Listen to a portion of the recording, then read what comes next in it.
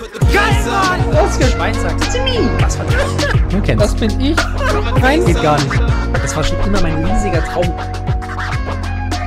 Was geht ab, Sportsfreunde, und herzlich willkommen zurück hier im Hamsterbau. Ich war in Kroatien und bin jetzt zurück wieder in Deutschland. Und dann haben wir uns gedacht, da, da gönne ich mir gleich mal hier ein Video, auf das ich mich schon sehr gefreut habe. Und zwar haben der liebe Fitness-Oscar, aka Oscar und die Mandy, sich gemeinsam ein Haus gekauft. Die haben, glaube ich, länger irgendwie schon nach einem Haus gesucht und so weiter und so fort. Die hatten ein Haus im Auge und dann hat es aber nicht geklappt. Irgendwie mit der Finanzierung, glaube ich, irgendwie ist da abgesprungen oder ich weiß es nicht mehr ganz genau. Auf jeden Fall waren die dann sehr, sehr traurig. Jetzt haben sie ihr neues Haus gefunden und ich glaube, sie sind sehr, sehr happy damit. Wenn ihr noch nicht auf Twitch am Start seid, macht das lieben gerne erster Link in der Videobeschreibung, wisst Bescheid. Und wer noch auf dem Kanal kein Abo und keinen Daumen da gelassen hat, macht das liebend gern. Ich würde sagen, wir labern gar nicht mehr lange drum rum. Oscar und Manly sind mit dem Video auch in den YouTube-Trends auf Platz 9 richtig, richtig stark. Viele haben schon gefragt, auch wann eigentlich mal unsere Roomtour online kommt von unserem Haus. Also wir haben ja nur so eine leere Roomtour hochgeladen auf Sophias Kanal, aber wir haben das ja mittlerweile schon das ja ganz anders aus, eingerichtet und pipapo. Wir warten noch auf eigentlich ein Möbelstück, wo ich sagen muss, bin ich ein bisschen angepisst, dass das so lange dauert. Das warte ich tatsächlich, habe ich vor über einem, vor acht Monaten habe ich das bestellt. Das wird wahrscheinlich dann auch bald kommen und wenn das da ist, dann kommt die Roomtour auch. Also ich schätze mal, dass die hoffentlich in den nächsten Monaten online kommt. Herzlich willkommen zu einem neuen YouTube-Video. Wir werden euch heute unser neues Haus zeigen, was wir uns heute gekauft haben. Also heute haben wir die Schlüssel bekommen. Wir sind noch ganz aus dem Häuschen. Es ist noch nicht alles fertig und jetzt kommt die erste Haustour. Genau. Und ich, wir sind im Keller. Und ist vielleicht nicht perfekt, aber ich hoffe, das geht noch. Also hier ist der Fitnessraum, aber das reicht nicht. Hier geht es noch weiter zum Fitnessraum. Wir legen hier alles aus mit Gummimatten und haben verschiedene Fitnessgerätehersteller angeschrieben, die uns hier ausstatten sollen. Falls ihr Fitnessgerätehersteller seid, könnt ihr uns auch gerne anschreiben und uns ein Angebot machen. Auf jeden Fall heftiger Raum für Home Gym. Ich meine, hier schon mal richtig geil eigentlich, dass du das hier so in zwei Areas unterteilen kannst. Hier hinten. Anscheinend scheint da auch schon der Vorbesitzer irgendwie trainiert zu haben. Weiß gar nicht, wo das Gerät herkommt, was hinter Oscar steht. Da ist ja super, super viel Platz. Also da schaut ja quadratmetermäßig riesig aus. Da kann was sehr, sehr Geiles zustande kommen. Digga, das Video ist scheiße leise, Alter. und auch weitere Fitnessgeräte, Boxsack und so weiter. Und dann geht es weiter. Morgen früh kommen die Maler, die werden auch streichen, also schaut nicht die Wände, die sind vielleicht nicht ganz sauber. Hier ist dann noch ein Raum, äh, Büro zum Beispiel. Perfekter Streaming-Raum. Büro kommt auch oben hin. Also du machst hier eher so einen Gaming-Raum, oder? Ich wollte mir auch einen Gaming-Raum machen. Äh, vielleicht wird das hier so. Also ich würde es feiern. Wenn er anfängt so zu gamen und zu streamen, würde ich auf jeden Fall fühlen. Dann wir jetzt hier rein. Hier wird unser Lager sein von Amas. Ja, das ist natürlich perfekt, wenn du ein Haus hast und dann so quasi dein eigenes Lager unten hast. Hier ist der Wäscheraum. Hier kommt Waschmaschine, Trockner, Anschluss. Dann geht's hier Digga, heftig. Ui. Das Highlight ist hier, denn hier ist noch ein Wäscheschacht. Was zeigst du denn? Ui. Der ist hier. Ah nee, der ist da. Ja. der ist hier. Oscar, da brauchst du mit den Frauen nicht anfangen zu diskutieren, wenn es um Wäsche geht. das darf. Hallo. Kletter mal rein, dann sehen wir, wo du rauskommst. Merkt euch das hier, da kommen wir gleich drauf hin äh, zurück. Nochmal. Erstmal gehen wir noch einen Raum weiter und der ist hier. Hier ist eine Toilette ganz unten, überall Bodenheizung, auch im Keller. Das heißt, man könnte theoretisch hier auch legen. Und fünf Badezimmer sind hier, also bleibt dran. Das ist mal eins, äh, ganz klein, für Gäste oder so. Ja, oder für nach der Sauna, denn wir können uns auch eine Sauna einbauen lassen, die ist noch nicht eingebaut, aber die Vorrichtung ist hier mit Starkstrom. Ähm, ja, abonniert gerne den Kanal, wenn ihr sehen wollt, ob wir uns hier eine Sauna reinbauen und schreibt in die Kommentare, ob wir es tun sollen. Hier wäre direkt eine kalte Dusche. Und dann geht es nach oben. Also das war's mit dem Keller. Hier Schuhregal und so. Da passen meine Schuhe gar nicht rein. Kennt ihr das, wenn Leute einfach Wände in anderen Farben streichen als weiß? Für mich gehören Wände in einem Haus weiß. Außer im Gym natürlich. Im Wohnzimmer, ich mag's weiß. Ich mag's clean, sauber und hell. Und wenn ich da irgendwo einziehen würde, wo die Wände gelb gestrichen sind, bäh, würde ich direkt Kotzen anfangen. Das hier ist der Eingangsbereich, wundert euch nicht, hier stehen noch ein paar Sachen rum. Alter, Digga, was ist denn das für ein Haus? Dieser Stern hier auf dem Boden, wilde Nummer. Holt gleich noch der Verkäufer vom Haus ab. Das haben sie nicht ganz geschafft. Ich würde sagen, wir fangen jetzt mal im eigentlichen Büro an. Das ist dieser Versuch mal ein bisschen leiser zu reden, weil sonst halt es. Okay. Wir fangen jetzt im eigentlichen Büro an. Das ist dieser Raum auch echt groß und wir haben auch schon Bürotische bestellt. Die kommen sogar schon am Montag an. Das ist ein, so ein schöner Raum, um zu streamen. Nicht Spaß. So ein Erdgeschoss neben dem Eingang, Schreibtisch rein, Rechnungen zu schreiben, ein bisschen so Bürokram zu machen, fühle ich. Auch mit diesem weißen Boden, schön clean, easy. Ich stelle es mir ein bisschen kalt vor, muss ich sagen. Der Grund, warum wir nicht Streichen warten, weil demnächst schon die ganzen Kisten kommen, die ganzen Möbel und wir wollten noch eine leere Roomtour machen für euch. Das hier ist der Raum, wo ich glaube, Gestört. Kann man so ein bisschen erkennen. Also auf jeden Fall, die Gegend schaut entspannt aus. Ich muss wirklich sagen, bis jetzt heftig, heftig. am meisten aufhalten werden, weil wir haben so schöne Möbel bestellt. Und wie So heißt ein der Raum? Sofa, das Wohnzimmer. Das musst du doch sagen. Und so riesen Esstisch haben wir bestellt und ihr wisst es ja, ich liebe es zu kochen und ich liebe es für andere zu kochen und darauf freue ich mich wirklich total, hier am Esstisch zu sitzen mit ganz viel Essen drauf. Da kommt unser 85 Zoll Fernseher hin. Hier kommt die 4 Meter Couch hin. Ja, ich habe mich lieber für einen Beamer entschieden. Team Beamer oder Team Fernseher? Was seid ihr? Und mein Highlight, wirklich mein absolutes Highlight in dem Haus, Boah. Küche Nummer 1. Oh, hier haben wir die Küche Nummer 1. Also Leute, wir sind jetzt hier bei Haus Nummer 1 von 10, Küche Nummer 1 von 100. Ja, noch sollen wir ihn hoch machen, dass Ja. das heller wird. Wir haben so viel Platz hier. Also wir sehen hier schon mal LED-Leisten. Ganz, ganz wilde Nummer. Das heißt, ich kann so viel Geschirr kaufen. Oh, nee. Schau mal, wir haben hier an alles gedacht. Hier ist LED, hier oben ist ein cooles Licht. Das Einzige, was wir austauschen werden, eventuell, ist das hier, weil für mich ist es perfekt, aber für Oscar eventuell zu niedrig. Eine große Gefriertruhe. Wer kennt's nicht? Oh mein Gott, und einen großen Kühlschrank. Wir haben sogar zwei. Denn Alter. es geht weiter. Küche Nummer zwei, so eine Alltagsküche, ist aber perfekt, vor allem wenn man so Schaut bei Weitem nicht so schön aus wie die andere, aber trotzdem immer noch absolut okay. so Torten backt. Und dann kann man hier dann mal die Torte lagern, kühl stellen. Das möchte ich nämlich öfter machen. Schaut da gerne auf meinem zweiten Kanal vorbei. Dort findet ihr meine Kochshows und Tschüss. Rezepte.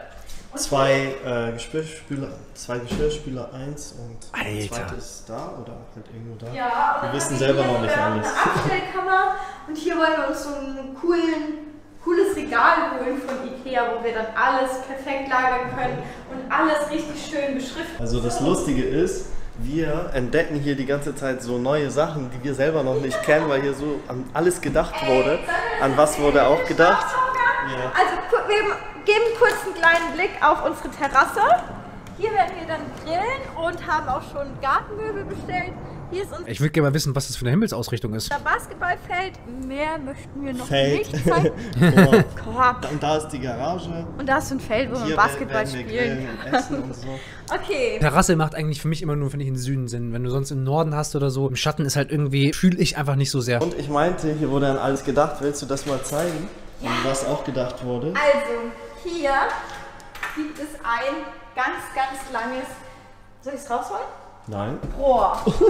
Das, sieht, das ist Staubsauger, Freunde. Aber Ey, da habe ich endlich mal einen Staubsauger für meinen Lörres. Für die ganze Etage. das ist nur ein Rohr. Jetzt passt mal auf. Dieses Rohr Ja. kommt hier rein und dann kann man einfach saugen. Hä? Der Dreck von dem, was man aufsaugt, landet unten im Keller. Das ist einfach ein integrierter Staubsauger in diesem Haus. muss man dann alle halbe Jahr leeren und in, auf jeder Etage gibt es sowas Ah, noch nicht und sowas. What the fuck? Ein integrierter Staubsauger im Haus. Digga, okay, also dann wirst du halt nie so, so kabellos staubsaugen können, aber scheiß drauf, dafür musst du auch nie den Filter oder so wechseln. so dass jede Etage einzeln gesaugt werden kann. Wir brauchen keinen extra Staubsauger. Genau. Klein, Gäste, aus. nächste Badezimmer. läuft. So, bist du durch mit deiner Etage? Ja. Und Okay. du darfst weitermachen. Jetzt darfst du das nächste Highlight zeigen. Okay, es Du geht bist hoch. dran. Es ist mir eine Ehre, dieses Highlight zeigen zu Schöne Treppe auf jeden Fall mit dem dunklen Holz, das meine ich. Also dunkles Holz schaut schön aus. Hier haben wir äh, Eine. Ja, ja mit Kamera. Kamera. Sowas wollen wir uns auch noch holen, weil bei uns sieht man nicht, wer vor der Tür steht. Das ist dann meistens nicht so geil, deswegen schauen wir immer an der Seite durchs Fenster. Hier, ähm, wenn man schmutzige Wäsche hat, von oben oder von hier, kann man die hier reinschmeißen. Als ob. Und die landet dann da unten, was wir uns angeschaut haben, im Einfach Wäscheraum. hier im Treppenhaus. Hä? Als ob. So, Ja. ja. wir sind im Treppen. Bro, wie geil ist das denn? Okay, gut, jetzt habt ihr es in der Roomtour gezeigt, aber das könnte man auch. Das heißt, wenn Leute einbrechen, du könntest. Das ist ja sick. Eigentlich so leicht gemacht, ne? So eine Schiene, so ein Bild drüber und du hast so einen Abwurfschacht da. Haus. Und wenn oben die Kinder oder so, falls ihr welche mal bekommt, hoffentlich bald, schmeißen ihre Wäsche rein. Und Mandy macht dann unten die Arbeit mit dem Wäschewaschen. oder natürlich ich. Nein, wir haben eine Haushaltshilfe. Oder die Haushaltshilfe. Okay, Wo geht's los? Part Nummer 3. So ähnlich wie hier unten, aber mit Dusche. Das Genau, ist hier ist so noch eine Dusche. Kinderbadezimmer. Ja, Okay, gut, klar, wenn du immer Kinder hast, dann musst du natürlich ein bisschen vorausplanen. Wir haben bei uns ein Badezimmer hier unten im Keller neben dem Gym. Das habe ich noch nie drin zum Baden benutzt. Ach, scheiße, Oberla, sorry. Cam, so Oscar hat hier gerade nochmal ein Badezimmer. Unten, aber mit Dusche. Genau, ist hier ist so noch eine Dusche. Kinderbadezimmer. Ja. Ja, genau. Hier im Kinderbadezimmer, wir haben bei uns eins im Keller. Da haben bis jetzt nur die Hunde drin geduscht. Jetzt kriegen wir Besuch, da duschen dann auch wahrscheinlich andere Leute, Gäste drin. Dann haben wir einen WC im Erdgeschoss und ein Badezimmer großes oben im Obergeschoss. Aber wenn du Kinder hast oder Kinder in naher Zukunft haben möchtest, dann musst du dich ein bisschen weiter vorausdenken. Hier ist ein Kinderzimmer. Äh, eventuell wollen wir dieses Parkett auswechseln lassen. Genau. Jedes Kind hier in dem Haus. Durfte sich einen eigenen Boden aussuchen. Ja. Und der hier gewohnt hat, war der Jüngste, glaube ich. Und der hat sich halt so einen Boden ausgesucht.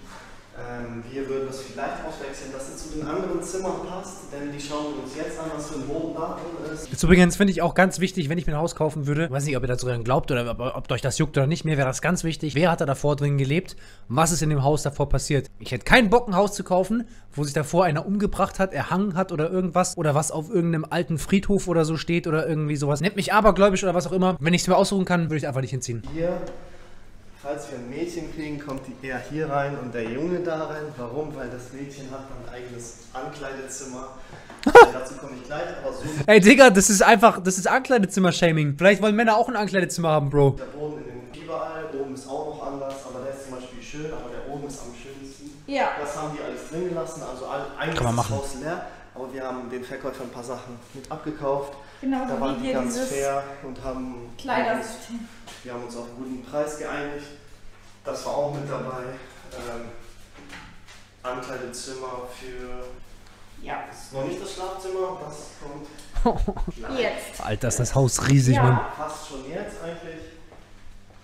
Genau, Alter, ist hier das ist- riesig. Der Staubsauger für die Ja, einfach in jeder Etage. Hier Und hier ist ist der Anschluss. WLAN-Router, Internetanschluss, Abstellkammer. Und hier ist das Schlafzimmer. Und schaut mal, was wir heute sogar machen lassen haben. Genau, das wurde heute gemacht.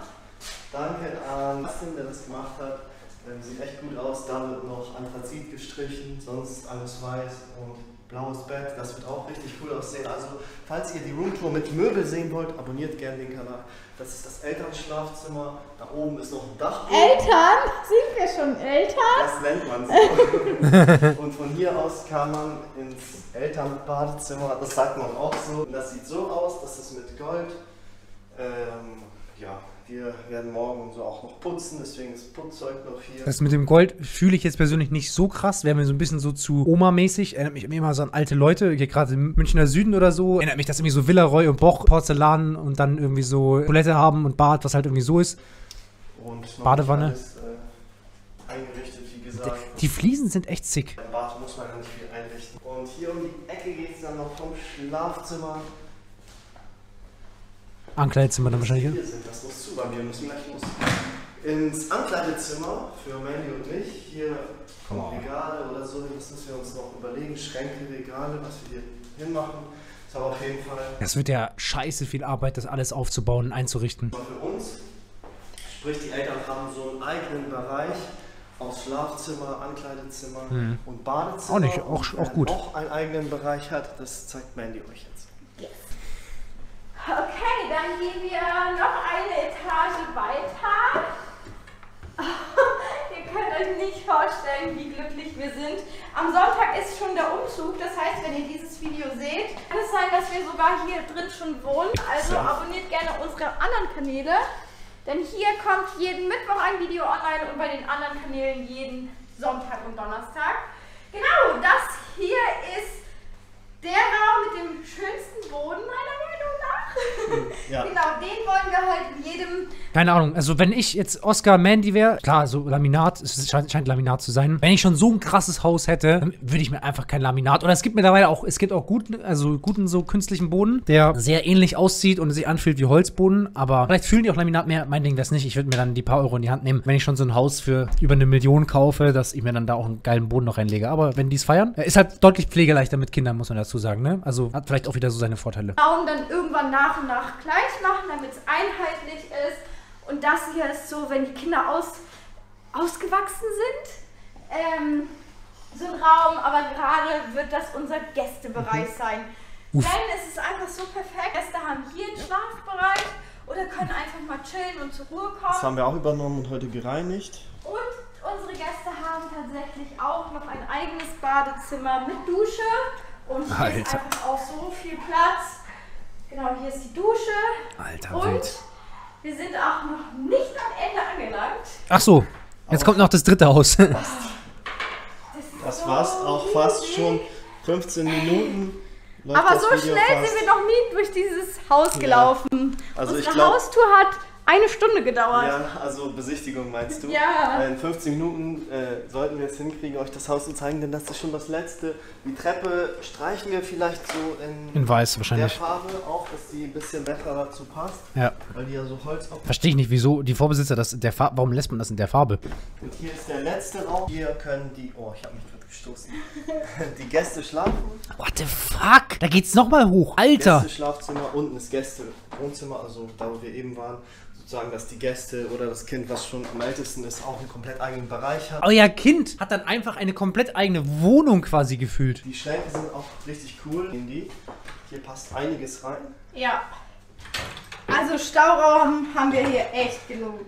Genau. Und das war's auch schon mit unserer Haustour. Ich muss sagen, auf jeden Fall heftig, heftiges Haus. Steht wahrscheinlich außer Frage. Also, das ist wirklich ein ganz, ganz, ganz krasses Haus. GG zu dem Haus. Ja, also ich schätze mal so ein Haus, da bist du also locker, locker mit einer Million dabei. Minimum.